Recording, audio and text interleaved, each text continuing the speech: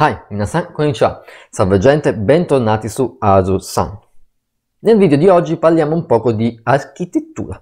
Già, sul canale non faccio mancare proprio niente. E come introduco l'argomento? Beh, raccontandovi della Nakagin Capsule Tower, una struttura che forse risulterà familiare all'orecchio, oppure alla vista a qualcuno di voi vedendo le foto. Di recente è comparsa la notizia che questo Nakagin Capsule Tower, un edificio eretto una cinquantina di anni fa a Tokyo, nella zona di Ginza, sta per essere demolito. Per chi non lo conoscesse di preciso, sto parlando di questo edificio qua. Eccolo.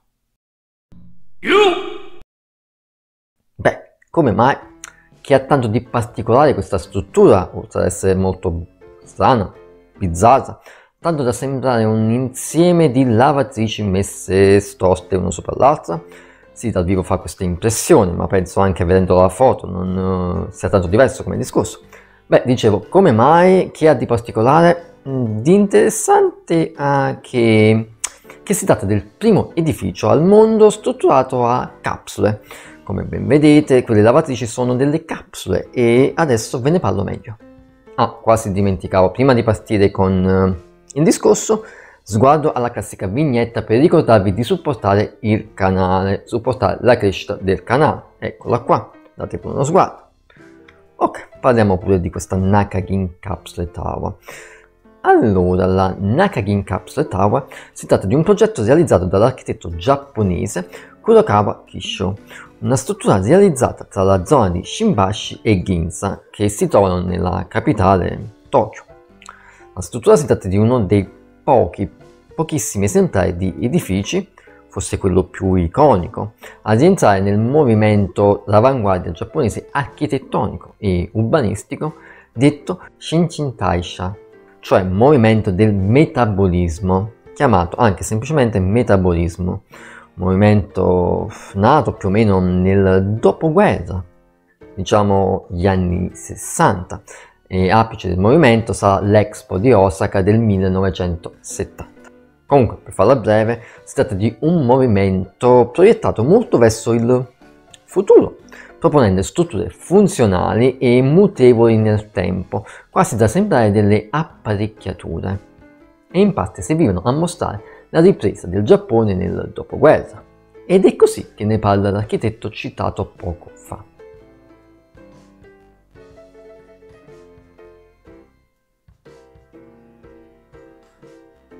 I lavori per la Nakagin Capsule Tower partono nel 1970 e si concludono in poco più di due anni, nel 1972.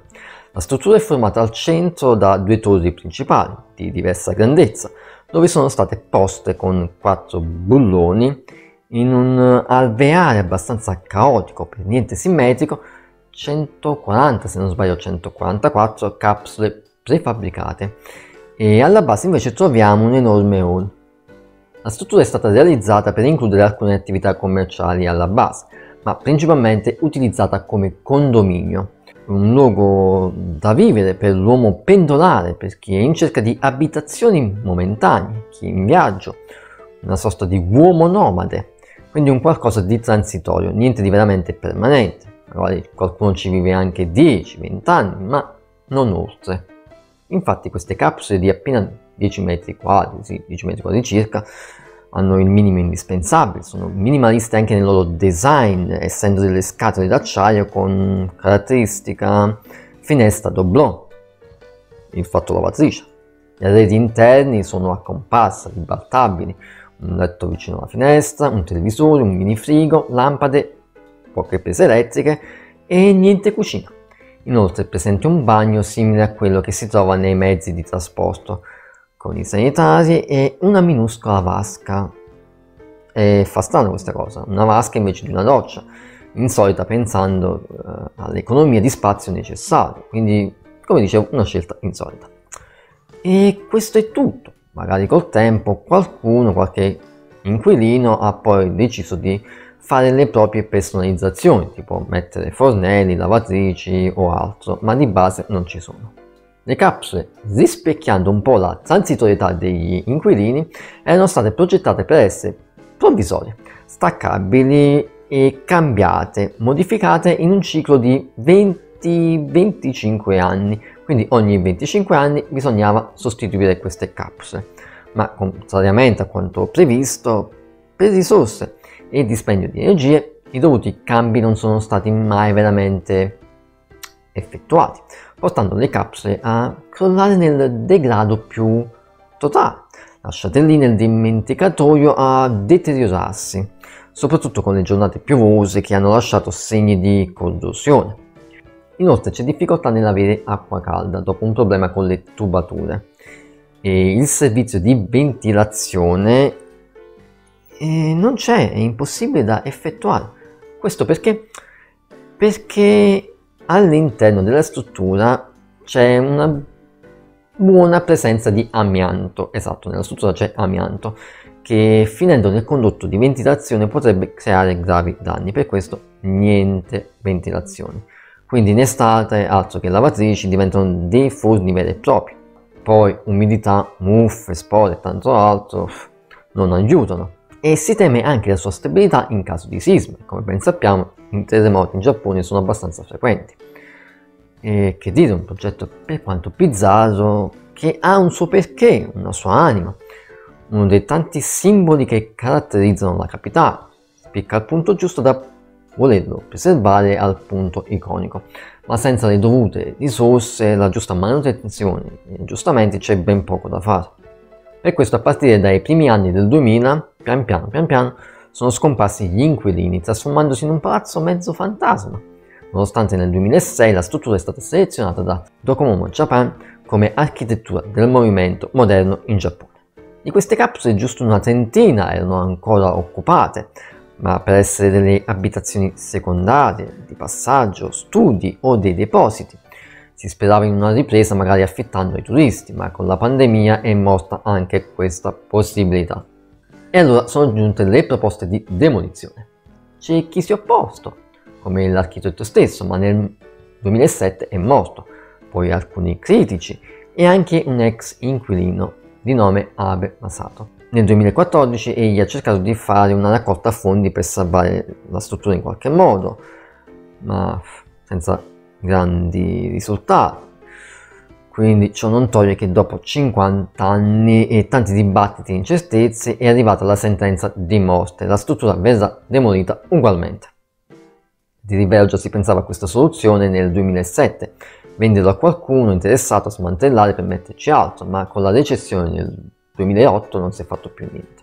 E si era stimato anche ripristinare queste capsule, ma calcolando 6 milioni di yen, 6 milioni di yen, cioè 40.000 euro per capsula, ogni singola capsula, troppo caro, indovinate, stop, niente da fare.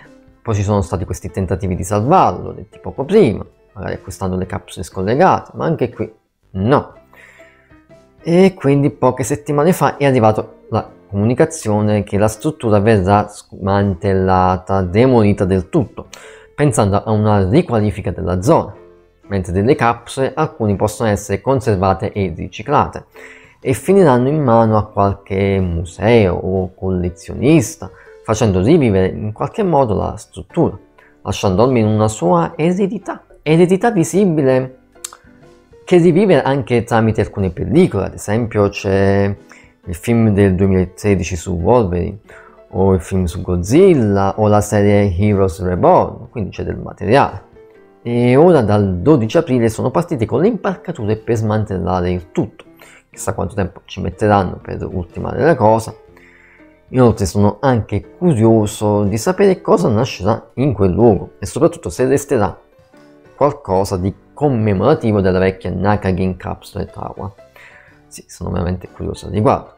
Io quando sono stato in Giappone ci sono anche passato più di una volta di rivero e a vederlo non era chissà in che, in che stato, in che splendore. Mi dispiace solo non aver fatto foto all'epoca. Dannazione, perché non l'ho fatta? Boh. Beh, un po' me ne pento, ma ormai è fatta. Vabbè gente, il video si conclude qui, se sbucheranno ulteriori dettagli fuori, cercherò di tenervi aggiornati. Se di rilievo farò un video a parte, invece per piccole cose vi farò sapere con un post qui sul canale oppure sui social network. Sì, perché Arosan non è presente solo qui su YouTube, ma anche su Instagram e Facebook. TikTok ancora niente, ma mai dire mai. Bene, detto ciò, io vi saluto, ci vediamo alla prossima, sempre qui sul mio canale, mi raccomando non mancate. Alla prossima, Matane!